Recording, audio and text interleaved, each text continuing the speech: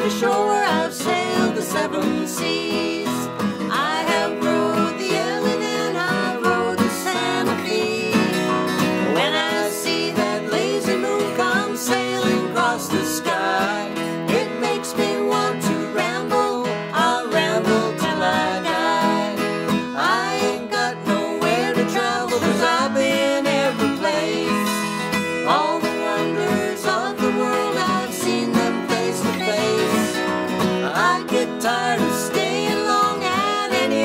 Place I